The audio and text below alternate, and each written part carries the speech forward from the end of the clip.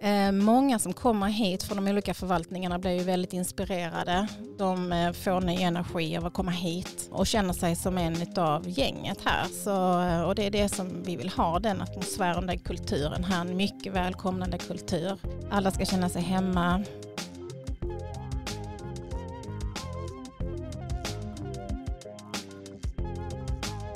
Thank you so much for listening to Urbanistica podcast. I am Mustafa Sharif, an urban planner, and you're more than welcome to join my big journey of exploring the making of smarter and more livable cities.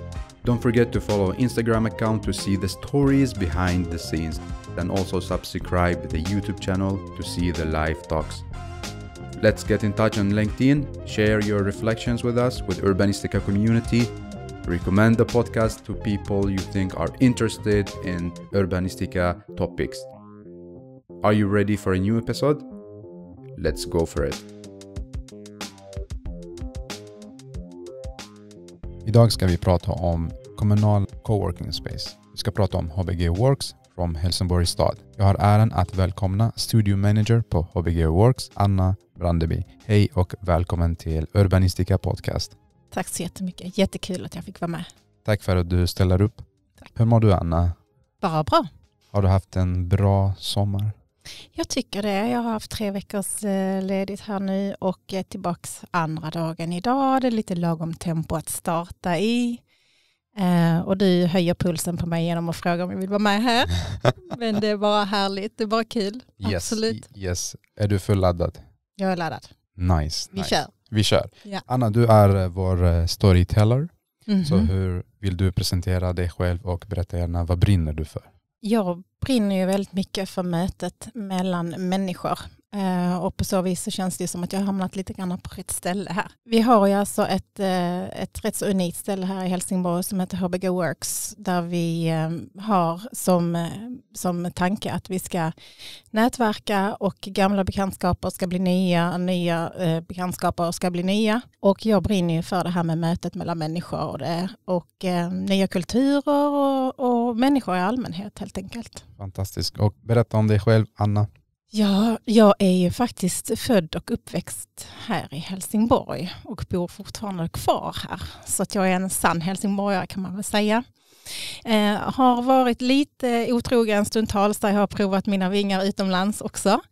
Ehm, och det har varit, det startade tidigt med ett år som utbytesstudent i Texas, USA. Då var jag bara 17 år gammal.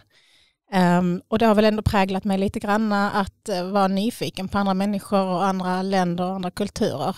Och sen har det rullat på lite med utlandsstudier i Tyskland och jobbat lite utomlands, Spanien till exempel och sådär. Så att ehm, jag känner att jag har fått en stor förståelse för olika sorters människor och olika kulturer. Ja, det är jätteviktigt att åka på utbyte faktiskt. Ja, herre gisses, det var ju det bästa jag har gjort, verkligen. Jag har själv varit i Milano och det var fantastiskt. Mm, mm. Och just att man känner att man är en del av eh, samhället, att man är en, nästan en local. Det tycker jag är lite härligt att man kommer in i samhället på så vis. Ja, men nu är det back to the origin, back to the base. Back to the base. Och eh, min syster, hennes man bor i närheten av mig och min bror och hans fru bor i närheten av mig och min mamma bor i närheten av mig. Så vi är allihopa samlade igen nu lite grann på, vad ska man säga, äldre dagar. Mm. Härligt. Well, Anna, vi ska prata om HBG Works. Ja. Vad är bakgrunden, syftet med den? Det var ju så här att det är, um, man hade ju redan sedan 2017 ett projekt som hette Idéslussen. Och det var lite grann av en safe zone för tester och utforskande av idéer i staden. Och sen så ehm, ville Helsingborgs stad driva en annan form av testbädd för digitalisering och innovation. Ehm, och eh, tanken var att man skulle kunna eh, driva någon form av eh, coachande och idéutvecklande funktion för medarbetarna i staden och alla förvaltningarna och dess bolag. Ehm, och då kom man på att man skulle starta eller finna någon form av hubb eller accelerator för detta. Eh, och det sattes ihop en styrgrupp som skulle eh, forska fram lite grann till eh, hur det här skulle kunna komma till att se ut och det landade ju helt plötsligt i ehm, förslaget om HBG Works ehm, och ehm, det klubbades igenom i rådhuset. Och den 15 februari 2019 så gick flyttlasset hit, alltså till då centrala delarna Drottninggatan i Helsingborg. Vilken fantastisk story. Mm. Och du är studio manager. Ja. Hur känns det att vara en, vad blir det på svenska, studio manager? Vad ska man säga, kontorsansvarig, om man ska säga så. Det är ett väldigt speciellt ord, studio manager, men kontorsansvarig. Det innebär ju att jag försöker ju och eh, hålla ordning här på alla och allt. Se till så att det rullar på, att just den här innovationen kan komma till stånd och att alla har sin inspiration eh, för att kunna jobba på absolut bästa sätt. Så att egentligen så finns jag ju till plats för att ge alla förutsättningar till att göra ett bra jobb. Ja, och den funkar som en, en coworking space eller en mötesplats, eller hur? Ja. Alltså vi är ju en stödfunktion för eh, alla, de, eh, alla förvaltningarna som vi har i staden då. Socialförvaltningen, vård och omsorgsförvaltningen till exempel. Och eh, nu är det ju så att Helsingborg är på en väldigt stor ehm, eh, och intressant resa fram till först och främst 2022 när vi har vår H22-mässa eller um, exhibition och sen så är ju nästa mål 2035 och det är ju att vi ska ju vara i framkant för digitalisering och innovation. Um, och då gäller det ju att vara med och ha en hel del massa intressanta saker att visa upp. Yes. Kan privata företag vara här? HBG Works? Alltså vi har ju våra partners som är uh, vad ska man säga, de kommunala bolagen som Helsingborgshem och Öresundskraft och, eh, och ehm, eh, som, som har tillgång till våra lokaler här. Ehm, det är klart, om man är en näringsidkare, tänker jag, som, som har eh, en bra idé för att eh, kunna ge alla medborgarna goda förutsättningar inom, inom välfärd och omsorg och så vidare så är ju vi såklart öppna för, för eh, ett, ett samarbete med näringslivet. Men där har vi ju mycket eh, hjälp eller mycket stöd från H22 för de är ju nästan länken då till näringslivet just nu som det är. Yes. Eh, hela det här gänget som vi har som arbetar för H22. Mm. Får ni någon feedback från eh, personer som är här att okej, okay, HBG, HBG Works fyller syftet. Jag har pratat med den här personen, nu driver vi ett sånt innovativt oh ja. projekt. Varje dag varje dag. Kaffeautomaten, vet du, där händer det grejer. Eh, många som kommer hit från de olika förvaltningarna blir ju väldigt inspirerade. De eh, får ny energi av att komma hit eh, och känner sig som en av gänget här. Så, eh, och det är det som vi vill ha, den atmosfären, den kulturen här, en mycket välkomnande kultur. Alla ska känna sig hemma, man vet vad kaffet är, man tar sin kopp, sätter sig ner. Eh, och jag har upplevt flertalet gånger, det kan vara jag har själv träffat gamla barndomskompisar som jag har gått i skolan med från ettan till trean till exempel i grundskolan som, har, som jag återförträffat igen här. Um, men det är många nya kontakter som, som knyts här verkligen och uh, vad gör du här, varför är du här? Nej men vi tittar lite grann på den här uh, utvecklingen av den här digitala um, saken till exempel. Nej men det, det, är precis det vi har sysslat med här nu för en månad sedan. Men du, vi kan höras vid och sen så behöver man inte uppfinna hjulet igen utan man kan utbyta erfarenhet och kunskaper sinsemellan. Ja, och du som är studio manager, ser dina dagar likadana ut? Nej.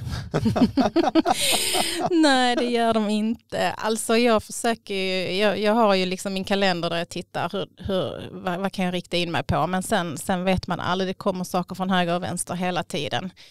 Ehm, det kan vara allt från att köksfläkten lägger av och då måste den fixas eller att det kommer en fönsterputsare som ska putsa fönstren och sen helt plötsligt så kommer de som ska fixa värdeskåpen och sen alltså ibland så skrattar jag bara för att det ligger eh, på rejält. Det gäller snabba skor kan jag säga. Eller någon som frågar spela in podcast. Eller om det är någon som vill spela in en podcast, ja precis, då får man ställa upp på det med. Hur var det under eh, covid-19? Eh, vi var aldrig stängda. Um, vårt motto var rätt mycket inte ställa in utan ställa om. Um, vi, märkte, jag märkte, eller vi märkte en stor skillnad på såklart för att alla drog öronen åt sig och alla förvaltningarna drog sig tillbaka till, till sina egna enheter så att säga. Så att trafiken här gick ju ner väldigt mycket. Um, nu har vi ju um, rätt bra mötesrum med Teams-licenser så att folk kom hit för att kunna ha sina möten men det var man såg ju ofta att folk lämnade väldigt snabbt igen när mötena var klara. Eh, tidigare så har det varit att man kanske har tänkt att men jag sitter och jobbar här eh, lite i samband med mötet och så kanske jag träffar någon och så tar jag en kaffe och sådär. Men det har blivit lite mer, mer in och, och ut så sett. Um, Sen har vi, är vi ju en, en homogen grupp som jobbar här som har vår fasta arbetsplats. Vi är ungefär 30 personer från, eh, från digital eh, utveckling. Um, um, och sen har vi ett, en, ett gäng från H22 som också kommer och går. Uh, så att vi har ju liksom vårt sätt att arbeta och respektera varandra i avstånds och tvätt och spritningar och allting sånt här. Att vi, att vi liksom eh, respekterar varandra. Tycker du att det är bra med Teams-möten?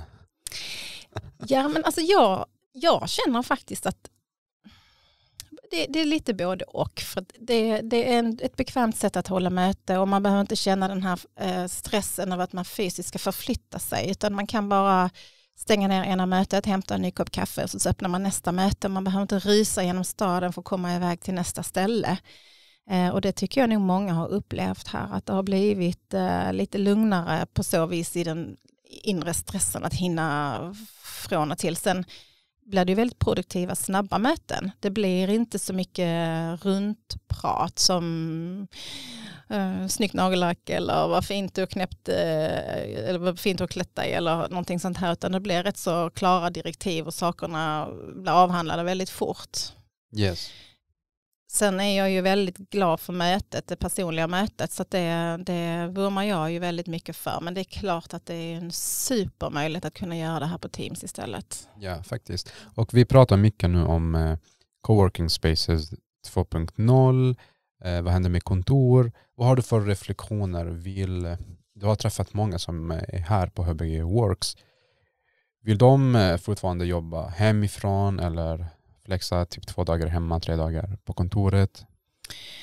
Alltså vi, vi har ju för, många har ju förmånen att kunna arbeta hemifrån och det har ju många gjort i den, och blivit uppmuntrade till att göra och det, det gör ju folk i, i stor utsträckning så att um, det är lite blandat. Somliga kommer ju in vissa dagar och jobbar här och det är mest också för att få lite grann av den här sociala Eh, att man kan träffa sina kollegor och, och vissa möten kräver face to face. Eh, men jag, jag, tror att vi kommer ha ett helt annat arbetsklimat efter, nu ska vi, ja, när allt har lagt sig. Eh, vi har lärt oss jättemycket eh, och det är som många säger, jag tror att det är ett före corona och ett efter corona. Ehm, man känner redan att man har ett annat mindset man tänker lite grann mer, man respekterar folk, man åker på bussen. Och till exempel när jag åker buss då så skulle det vara lite mycket folk så känner man att man vänder ryggen mot hellre än att man riskerar att komma för nära. Yeah. Så jag upplever att här har vi haft väldigt, väldigt stor respekt för varandra. Mm. Och om jag frågar dig, en coworking space 2.0, vad blir det? Ja, så jag tänker lite grann att vi är det här med att jobba 8 till 17 varje dag tror jag i det långa loppet kommer, alltså de här gränserna kommer suddas ut lite grann. Jag tror att det kommer bli mer individuellt anpassat. Jag snackade med en kollega här igår och han bara, men alltså jag är som mest kreativ när klockan är tio på kvällen. Och jag, jobb, jag kan vara som mest kreativ fram till klockan tre på natten. Och jag bara, herre gisses, då sover jag. Då är jag ju helt färdig efter en arbetsdag. Men jag tror att, att um, man kanske inte ska vara så stel uh, i de här arbetstiderna längre. Är det så att man är, känner att man är bättre kreativ under vissa andra tider på dygnet, bara man gör vad man ska, så är det väl inget fel i det att man har andra arbetstider eller andra rutiner. Eh, så jag tror att man sakta med respekt skulle kunna börja tänja lite grann på de här arbetstiderna och Liksåväl med coworking spaces, att man då som till exempel skulle ha gemensamma aktiviteter och, och så här. Tänk om man kunde liksom bakat in sin, sin yoga på lunchen och inte behöva stressa iväg till yogan på kvällen. Men, men jag tror vi har en liten bit kvar i det för att det är så fortfarande inrutat att man ska jobba 8 till 5. Okej. Okay. Mm. Men jag, sku, jag, jag, jag, tror att det kommer att bli en, en, en, en lättnad på det tror jag. Ja. Vad har ni för framtida planer när det gäller HBG Works? Kommer ni minska arean, alltså på lokalen för att det är inte så många som är här?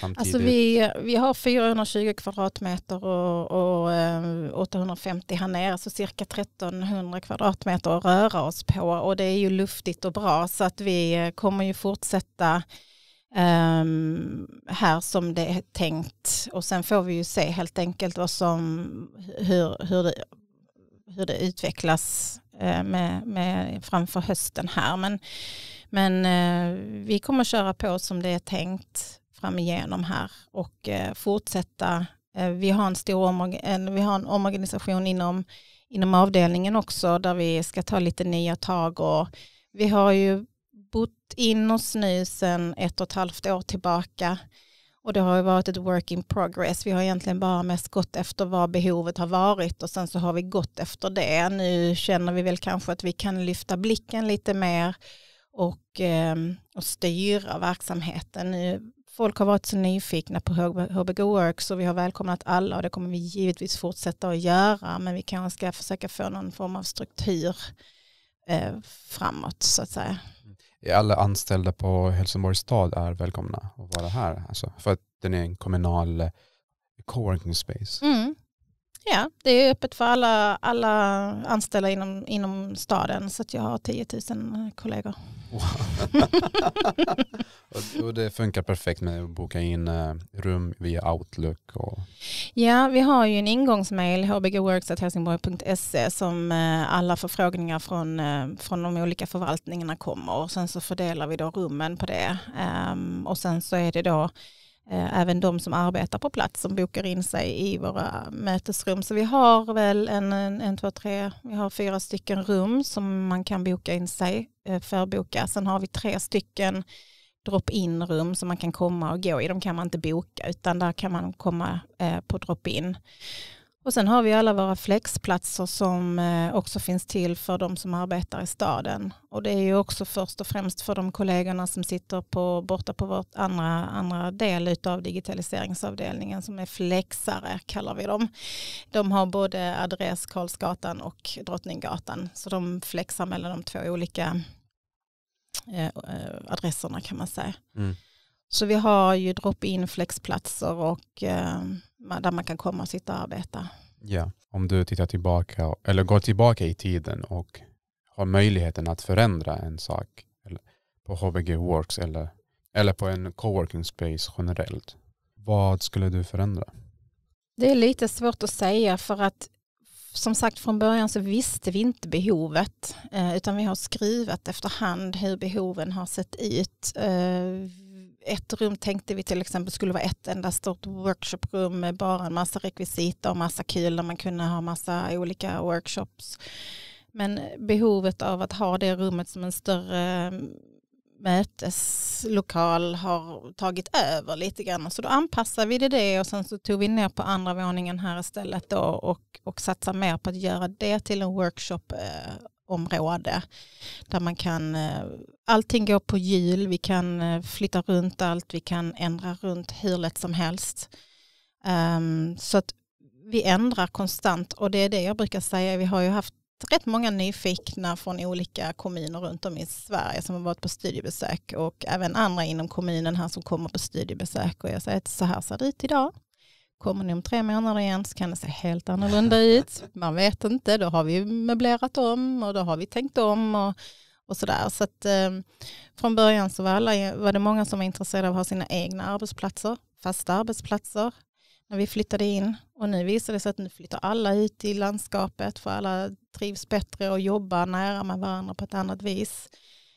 Och sen är det ju så att det kanske inte passar alla att jobba som vi gör heller. Det finns eh, några rum som heter fokusrum. Där kan du gå in och stänga in dig och, och jobba sen, eh, koncentrerat. Men annars så är det inget att vi försöker tysta varandra eller att man inte får prata eller så vidare. Så att ibland så har vi grupper som vi visar runt i, i lokalerna här och då kan vi knacka på till exempel på en, ett, ett möte och så kan vi säga vad, här, vad pratar ni om här då? Så att eh, väldigt transparent ser man att det finns ett möte och ett ämne som är intressant så kan man knacka på och fråga om man får lov att lyssna in vad de pratar om så man eh, kan få lära sig någonting nytt kanske. Vi har lunchföreläsningar här i vår trappa också och det är ju öppet att komma och lyssna på dem. Ja, yeah. och det kanske kan vara lite svårt att ha privata aktörer här, mm. prata business eller affärer. Yeah. Om man kan bara knacka in och lyssna på. ja, alltså. Kan vara en anledning. Ja, alltså vi är ju vi är ju en kommunal accelerator. Det finns ju många andra, vad ska man säga, privata alternativ också. Men vi stänger inte dörren för någon utan som sagt syftet är ju att, att, att eh, det ska vara medborgarna till gagn i det långa loppet. Det är därför vi är här. Hur gör du HBG Works smartare?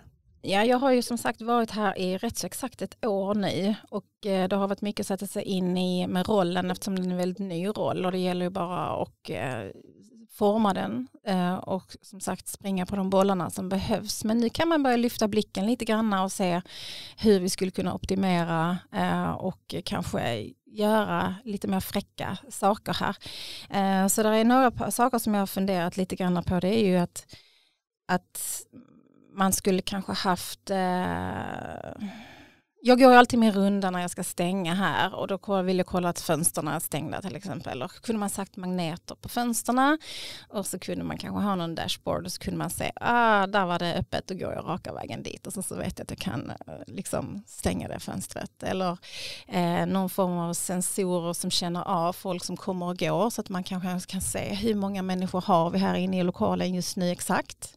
För att jag kan ju hålla koll på det i mötesrummen och så vidare och visuellt och så sådär men faktiskt ha någon form av eh, eh, sensorer som känner av eh, hur många där är i lokalen. Liksom. Eh, eller i alla fall räkna hur folk kommer och går. Eh, så det är väl egentligen det som, som är det, det man skulle vilja nu. Eh, som har kommit yeah. upp, liksom. Yeah. behovet yeah. i mitt, i, för mig. Yes. Mm. Jag tänkte fråga, vilka är mest populära rum eller, eller platser här i, på HPG Works? Alltså det är ju kaffemaskinen. ja det märker man ju ibland, för ibland när, vi när man har grupper eller mötesdeltagare som så säger vill ni ha in kaffet i rummet så om de eh, känns lite stressiga så nej nej nej nej vi, vi går mm. ut och tar kaffe där ute. För de vill gärna ut och, ja. och träffa andra eh, goa kollegor. Så det, det, det, känner jag att det är den som är den viktigaste centrala punkten. Och den måste funka. Så ja, kraschar ja. kaffemaskinen så är det kris. Alltså. Men jag har snart filkande på kaffemaskin för jag har varit på den så många gånger så jag vet exakt hur den funkar. Så, så vi ser kaffemaskin, internet. ja, precis. Det är de väsentliga sakerna. Yes. Ja. Superintressant. Stort tack Anna för att du ställer upp och inspirerar oss. Tack själv, tack för att jag fick komma. Ja, och stort tack för all hjälp och service. Du är en grym eh, studio manager. ja, tack. Vi, om du ska summera det vi har pratat om och dina reflektioner i tre medskick till alla som lyssnar på dig. Vad har du för medskick? Ja, um, medskick är ju egentligen att eh, respektera varandra.